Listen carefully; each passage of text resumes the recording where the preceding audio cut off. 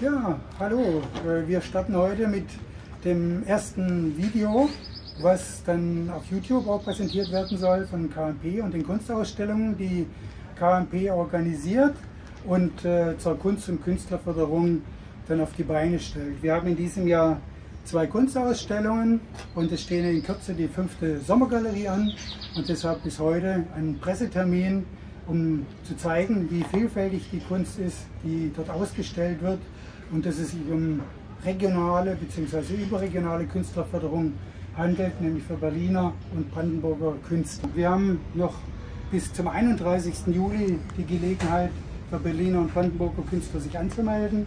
Da ist dann der Anmeldeschluss.